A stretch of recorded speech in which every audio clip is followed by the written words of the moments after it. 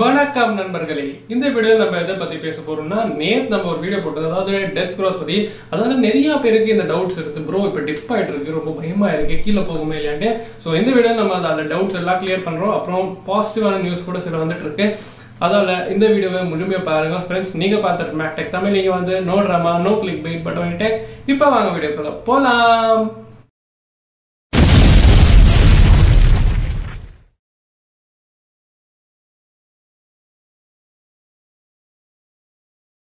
நண்பர்களே நீங்கள் எவ்வளோ வெளியே போக முடியுமோ அதை அவாய்ட் பண்ணுங்க. போனாலுமே கண்டிப்பாக மாஸ்க் போடுங்க. அப்புறம் சோஷியல் டிஸ்டன்சிங் மெயின்டைன் பண்ணுங்கள் வீட்டுக்கு வந்த உடனே ஹேண்ட் சானிடைஸ் பண்ணி சேஃபாக இருங்க சொல்லலாம் ஸோ நம்ம சேனல் முதல் தெரிய பார்க்குறீங்கன்னா மறக்காமல் கீழே இருக்க சப்ஸ்கிரைப் ப்ரெஸ் பண்ணிட்டு பக்கத்தில் இருக்க நோட்டிஃபிகேஷன் தட்டி விட்டுருங்க. அப்போ தான் இந்த மாதிரி வீடியோஸ் எல்லாம் உங்ககிட்ட முதல்ல வந்து சேரும்.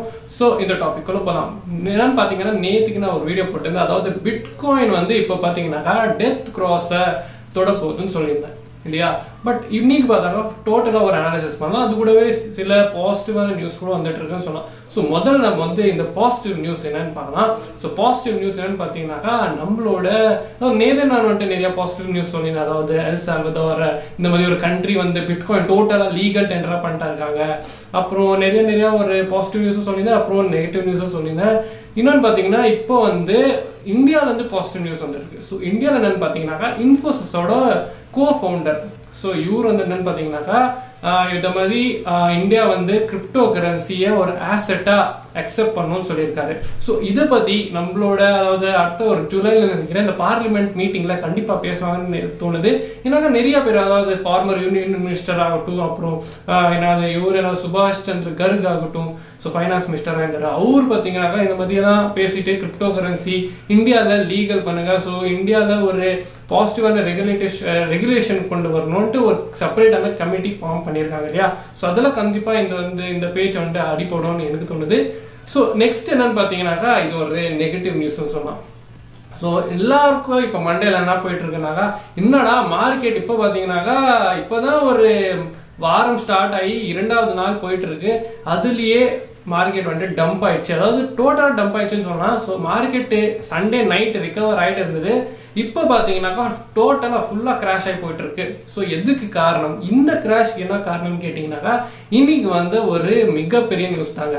ஸோ யார் மூலியமாக வந்திருந்தாக்கா இது United ஸ்டேட்ஸோட former president mister Donald Trump so இவர் என்ன சொல்லியிருக்காருனாக்கா இந்த மாதிரி பிட்காயின் எல்லாம் ஒரு ஸ்கேமு அப்படின்னு சொல்லியிருக்காரு. So it affects the US டாலர்னு சொல்லியிருக்காரு.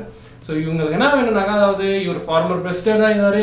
அதால் இவர் வந்து யூஎஸ் டாலர் தான் ஒரு மிகப்பெரிய கரன்சியாக ஆக்கணும். ஸோ டோட்டல் வேர்ல்டுலேயே ஒரு மிகப்பெரிய கரன்சியாக ஆக்கணும். ஸோ பிட்காயின் வந்தாக்கா அது வந்துட்டு இந்த யூஎஸ் டாலர் அச்சு தூக்கிடும்.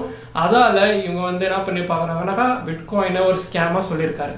ஸோ ஏன் அப்படி சொன்னாருனாக்கா உங்களுக்கெல்லாம் தெரியும். இப்போது உலகத்திலேயே ஒரு மிகப்பெரிய நல்ல வேல்யூ இருக்கிற ஒரு கரன்சி என்னன்னு பார்த்தீங்கன்னாக்கா யூஎஸோட டாலர் ஸோ நம்மளோட இந்தியாவில் எப்படி நம்மளோட இந்தியன் ருபீஸை யார் கண்ட்ரோல் பண்ணுறாங்க ஆர்பிஐ அதே மாதிரி யூஎஸ் கவர்மெண்ட் தான் இந்த யூஎஸ் டாலரை கண்ட்ரோல் பண்ணுறாங்க ஸோ இவருக்கு என்ன வேணும்னாக்கா இந்த மாதிரி டோட்டலாக நம்ம யூஎஸ் டாலராக மாற்றிட்டாக்கா டோட்டல் கண்ட்ரோலு நம்ம யூஎஸ் கவர்மெண்ட் கிட்ட இருக்கும். ஸோ இந்த அதாவது ஆர்பிஐ கிட்ட இல்லை வேற எந்த கண்ட்ரியும் இந்த மாதிரி யூஎஸ் டாலரை கண்ட்ரோல் பண்ண முடியாது. டோட்டலாக இந்த யூஎஸ் அதாவது கவர்மெண்ட் தான் இந்த யூஎஸ் டாலரை கண்ட்ரோல் வச்சுக்க முடியும். ஒரு நல்ல டெவலப் கண்ட்ரி ஆனாலுமே இவங்க வந்துட்டு இன்னும் ஒரு சுப்பீரியர் கண்ட்ரியா ஆக ட்ரை பண்ணிட்டு இருக்காங்கன்னு சொல்லலாம். அதால தான் இவர் வந்து இந்த நியூஸை போட்டிருக்காரு.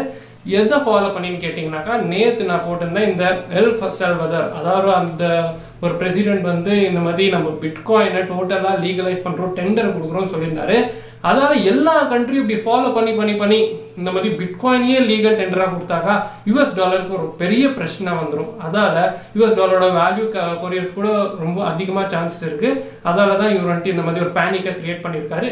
அதால தான் மெயின் ரீசன் சொன்னால் நீங்கள் பார்க்கலாம் சார்ட்டில் ஒரு பெரிய இல்லை சின்ன ஒரு மீடியம் டம்ப்னு சொல்லலாம் ஸோ ஒரு பெரிய கேண்டில் ரெட் கேண்டில் தெரிது. அதான் அதான் இந்த காலையில் இந்த ஒரு நியூஸ் வந்ததால தான் நிறையா பேர் செல் பண்ணிட்டாங்க சொன்னால் ஸோ மார்க்கெட் பார்த்தீங்கன்னா பிட்காயின் மட்டும் இல்லைங்க எல்லா ஆல்ட் காயின்ஸும் டம்ப் ஆக ஆரம்பிச்சிச்சு. ஸோ இப்போ வந்து நம்ம இந்த என்னது டெத் கிராஸ் பற்றி பேசலாம். ஸோ டெத் கிராஸ் நேர்த்தியாக இருக்குன்னு சொன்ன மாதிரி தான் ஸோ இது வந்துட்டு ஒரு ரெண்டு மூவிங் ஆவரேஜோட கிராசிங்னு சொல்லலாம். ஸோ இன்ன வரைக்கும் நீங்கள் பார்க்குற சார்ட்ஸில் நான் இதை எக்ஸ்டெண்ட் பண்ணாக்கா அது கிராஸ் ஆகும். பட் கிராஸ் ஆகும்னுட்டு ஒரு என்னது ஒரு ஃபோர்ஸ் இல்லை. இல்லையா அது கிராஸ் ஆகலாம் ஆகாமல் கூட போகலாம். அது வந்துட்டு அடுத்த ஒரு நியூஸ் பொறுத்தது தான் ஸோ எந்த ட்ரெண்டிங்காக போகுதோ அதாவது பிட்காயின் பற்றி நல்ல பாசிட்டிவ் நியூஸ் இல்லை புல்லிஷ் நியூஸாக வந்ததுன்னா கண்டிப்பாக அது க்ராஸ் ஆகாது. பட் பேரிஷ் நியூஸ் வந்ததுன்னா கண்டிப்பாக அது க்ராஸ் ஆகும். பட் நான் ஏன் ஆகாதுன்னு சொல்கிறேன்னாக்கா நீங்கள் ப்ரீவியஸாக பார்க்கலாம். டூ தௌசண்ட் தேர்ட்டின் கிராஃபில் போட்டிருப்பேன். ஸோ இதுதான் டூ தௌசண்ட் தேர்ட்டினோட சார்ட்னு சொல்லலாம். ஸோ நீங்கள் பார்க்கலாம். ஒ- ஒரு கிட்டத்தட்ட அந்த ரெண்டு ரெட்டும் அப்புறமா க்ரீன் லைனு ரெண்டும் அப்படியே டச் ஆகிற மாதிரி வருது. அது அப்படியே பிரிஞ்சு போயிடுச்சு. பட் என்னன்னு பார்த்தீங்கன்னாக்கா அது ஆயிட்டுன்னு ஒரு மிக ஒரு பெரிய புல் ரன் மிகப்பெரிய கிடையாது. ஒரு புல் ரன் ஸ்டார்ட் ஆனது. ஸோ புல் ரன் ஆயிட்டனுமே அது வந்துட்டு டெத் கிராஸ் ஆச்சு. மறுபடியும் ஒரு கோல்டன் கிராஸ் ஆச்சுன்னு சொல்லலாம். ஸோ சின்ன ஒரு டெத் கிராஸ் தான் சொல்லலாம். அப்புறம் மறுபடியும் ஒரு கோல்டன் கிராஸ் மறுபடியும் ஒரு டெத் கிராஸ் ஆகி மறுபடியும் புல் ரன் ஸ்டார்ட் ஆயிடுச்சுன்னு சொல்லலாம். ஸோ இந்த நீங்கள் பார்க்கலாம் கீழே டைவர்ஜஸ் இண்டிகேட்டரில் மூணு எம் இருக்கு இல்லையா? ஸோ ஒன்று டூ தௌசண்ட் தேர்ட்டீனில் ஒன்று வந்து டூ தௌசண்ட் எயிட்டீன் நினைக்கிறேன். அப்புறம் ஒன்று வந்து இந்த டூ தௌசண்ட் டுவெண்ட்டி ஒன்ல பார்த்தீங்கன்னாக்கா பாதி எம் தான் இருக்குது மீதி எம் கண்டிப்பாக ஆகும் என்று தோணுது. ஏன்னாக்கா அந்த மே அதாவது இந்த டூ தௌசண்ட் தேர்ட்டீன்ல பார்த்தீங்கன்னாக்கா மே அதாவது இந்த மாதம் தான் மே ஜூன் மாதம்ல தான் இப்போ பார்த்தீங்கன்னாக்கா அந்த இது என்னது டெத் கிராஸ் ஆக சமயத்தில் அப்படியே டச் ஆகிட்டு அப்படியே பிரிஞ்சிச்சுன்னு சொன்னால் ஸோ இப்போ கூட அந்த ஒரு சுச்சுவேஷனில் தான் இருக்குது அப்புறம் அந்த டூ தௌசண்ட் தேர்ட்டீனில் கேட்டிங்கனாக்கா நவம்பர் அதாவது ஒரு அஞ்சு மாதம் இல்லை நாலு மாதம் கழிச்சு ஒரு மிகப்பெரிய புல் ரன் ஸ்டார்ட் ஆனது. ஸோ இப்போ என்ன நானும் அப்படி தான் எழுகிறேன் இந்த மாதிரி ஒரு டெத் கிராஸ் ஆனால் கூட ஆகாது. கண்டிப்பாக ஆகாது சொல்லலாம். ஸோ பயப்படாதீங்க. ஆனால் அப்படின்னு சொல்கிறேன் ஸோ அப்படி பிரிஞ்சிட்டாக்கா கண்டிப்பாக என்னன்னு பார்த்தீங்கன்னாக்கா ஒரு டச்சாகி பிரிஞ்சாக்கா கண்டிப்பாக ஒரு ஃபோர் மந்த்ஸ் இந்த மாதிரி நவம்பர் சேமாக மறு மிகப்பெரிய ஒரு புல்ரன் ஸ்டார்ட் ஆகலாம். இல்லைனாக்கா ஒரு சின்ன டெத் கிராஸ் ஆகும். அதாவது ஒரு சின்ன டம்ப் ஆகி மறுபடியும் பம்ப் ஆக ஸ்டார்ட் ஆகிடும்னு சொல்லலாம். ஸோ யாரும் பேனிக் ஆக வேணாம். ஸோ இதுதான் நான் சொல்ல விரும்பினேன் இப்படி ஒரு பாசிட்டிவான நியூஸ் கூட வந்துட்டு இருக்கு நெகட்டிவான நியூஸ் கூட வந்துட்டு இருக்கு அதனால கண்டிப்பாக டெத் கிராஸ் ஆனா கூட ஒரு மிகப்பெரிய டம்ப் ஆகாது. ஏன்னாக்கா அந்த டுவெண்ட்டி ஃபைவ் தௌசண்ட் டாலர்ஸ் ஒரு டார்கெட் வச்சிருக்காங்க. ஸோ அதை தொட்டுடணும் மறுபடியும் டம் பம்ப் ஆக ஸ்டார்ட் ஆகிடும் சொல்லலாம். ஸோ அதான் நண்பர்களே இந்த வீடியோட முடிவு போகிறேன் இந்த வீடியோ பிடிச்சிருந்தாங்க மறக்காம லைக் பண்ணிட்டு உங்கள் ஃப்ரெண்ட்ஸ் ஃபேமிலி மெம்பர்ஸ் எல்லாருக்கும் ஷேர் பண்ணி பேனிக்காக பேனிக் ஆக தேவையில்லை. கண்டிப்பாக டம்ப் பம்ப் கண்டிப்பாக ஆய ஆகும்னா அதுதான் நேச்சர் மார்க்கெட்டோட நேச்சரை ஸோ நீங்கள் எப்போ செல் பண்ணுறீங்களோ அப்போ தான் அது லாஸ்ன்னு சொல்லலாம் நீங்கள் பையிங் ப்ரைஸ்க்குனா கீழே செல் பண்ணாக்கா அது கண்டிப்பாக லாஸு நீங்கள் கண்டிப்பாக வெயிட் பண்ணலாம். ஸோ எப்போ அது பம்ப் ஆகுதோ அப்போ நீங்கள் வந்துட்டு செல் பண்ணலாம். இல்லை செல் ஆர்டர் ப்ளேஸ் பண்ணலாம்னு சொல்லலாம். ஸோ இதே மாதிரி வீடியோஸ் பார்க்கணும் இருக்கே மறக்காம கீழே இருக்க சப்ஸ்கிரைப் பண்ணி ப்ரெஸ் பண்ணிட்டு பக்கத்தில் இருக்க நோட்டீஸ் தட்டு விடுங்க அப்போ தான் இந்த மாதிரி வீடியோஸ் எல்லாம் உங்ககிட்ட முதல்ல வந்து சேரும். நம்மளோட மேக்டெக் தமிழ் டெலிகிராம் குடும்பத்தோட ஜாயின் பண்ணிக்க. அந்த லிங்க்ஸ் கூட உங்களுக்கு டிஸ்கிரிப்ஷனில் கிடைச்சிடும். ஸோ இதே மாதிரி வீடியோ உள்ள அடுத்த மாதிரி சந்திக்க வேறு this is Mac signing off நீங்கள் நல்லா இருங்க பாதுகாப்பாக இருங்க. நன்றி. வணக்கம்.